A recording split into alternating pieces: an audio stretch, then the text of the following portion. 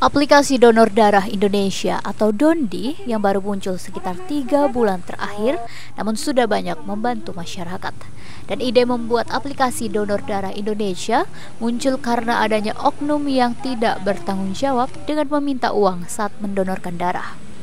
Selama ini masyarakat awam biasanya menyebar nomor HP keluarga yang membutuhkan darah Hal tersebut kemudian dimanfaatkan oleh mafia darah dengan meminta sejumlah imbalan dari donor darah yang dilakukan.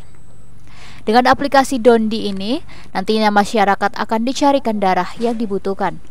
Hanya dengan mengetik cari ke nomor 0882 2120 2181 Anda akan dibantu mencarikan pendonor darah dan dikawal hingga kebutuhan darah yang dibutuhkan terpenuhi sehingga identitas keluarga dan nomor yang membutuhkan darah akan terlindungi dan dirahasiakan.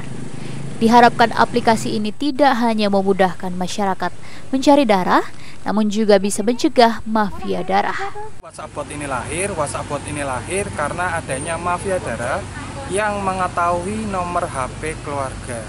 Jadi ada beberapa oknum yang kontak ke keluarga untuk meminta imbalan tertentu agar mendapatkan darah. Nah, padahal sesuai edaran dari PMI, himbauannya ketika teman-teman butuh darah itu jangan sampai nomor HP keluarga tershare ke publik. Rahayuda Febrianto, Kompas TV, Semarang, Jawa Tengah.